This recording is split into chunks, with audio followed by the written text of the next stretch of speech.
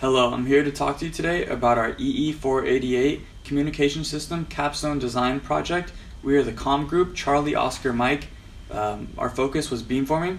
Our first objective was to advance the process of directional signal transmission and reception through the use of beamforming theory, realized through our USRP devices, as seen here.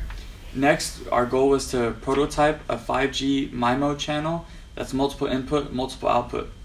Finally, we wanted to design a system that utilizes optimum antenna orientation as well as modulation scheme to maximize the received signal power and thus maximize channel capacity. 5G is utilizing frequencies that are higher than 4G, which will in turn have uh, an effect in the wavelength of the transmission. Um, so the wavelength of the signal will be in millimeter range, and antenna arrays has to be at least half a wavelength away from each other to not have any correlation to towards each other. So uh, by having higher frequency and shorter wavelength, we can uh, pack many number of antenna arrays in a small uh, space. So that makes it possible for us to utilize beamforming for 5G system. Beamforming is a signal transmission technique which uh, utilizes n number of antenna arrays to send the same signal at the same time to have a direction of a beam towards a desired user. So when that happens, it reduces the interference and it increases increases the received signal power, and as a result, it, incre- it also increases the channel capacity. Uh, we can also change the direction of the beam by changing the phase of the signals from each antenna arrays, and also we could do we could also change the direction of the beam by changing the amplitude also. So the platform that we use for beamforming is software-defined radio. Software-defined radio is an RF device used for communication systems. It uses software and digital signal processing to replace much of traditional hardware, such as mixers and filters. Traditionally, we would have to match the software with the hardware, but with software-defined radio, we're given much more flexibility and we're able to prototype um, different systems uh, very quickly. Uh, so we can see our results uh, right away. For hardware, we use the National Instruments USRP 2943R. And for software, we used a little bit of MATLAB, but we um, ended up using LabVIEW with the Communication Systems Design Suite. So we worked with um, three modulation schemes. We worked with QAM, uh, a 4x2 transmission, so four transmitters to receivers, and 4x1, which is four transmitter, one receiver. Uh, we start off with QAM.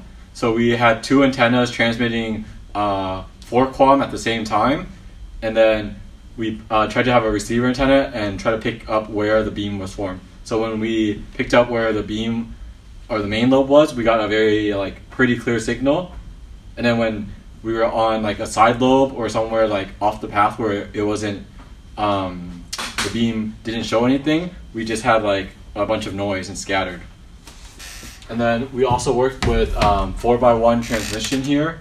And then this is showing you that we had non-coherent transmission. And that's why the graph is kind of distorted. But you can see that our received power is much greater than when we had it just as like a one by one. And then we also did for a four by two, and then when you see for a four by two is uh, the graph had even better performance than a four by one for non-coherent uh, transmission. Okay, so going into the LabVIEW block diagrams that we have, we have two transmitter LabVIEW programs, one for QAM transmission and one for multi-channel transmission. And so the QAM transmission basically includes indicators that suggest channel rate, I'm sorry, channels sampling rate, carrier frequencies, um, gain, and the M area modulation scheme, so basically the number of signals and the reference to the baseband. It transmits constantly while it's on, and you can stop at any time. The other LabVIEW block is the multi-channel block, and the multi-channel block basically has four individual waveforms and instead of having the modulation scheme, we can set these waveforms to whatever you want. So we set them to four sine waves initially, and then we also did four rectangular waves or square waves. And then you can adjust the frequency, gain, or phase on all of these, and so there's actually an indicator that you can change the phase difference to get different values or see how the phase difference affects the final beam when transmitted. So some of our core takeaways are as follows. First, implementing a MIMO channel can result in an improved signal to noise ratio and thus an improved channel capacity. Second, higher order modulation schemes lead to improved performance. Third, matched polarization at both transmitter and receiver side leads to better signal reception. Fourth, the LabVIEW communication design suite is extremely effective in creating modulation schemes and uh, cascading inputs in um, communication systems. Finally, with like the use of um, two by one column, we can see like the directivity of the beam and the side lobes. And most importantly, thank you to Dr. Kwon and the entire electrical engineering department at CSULB for making this all possible. Go Beach.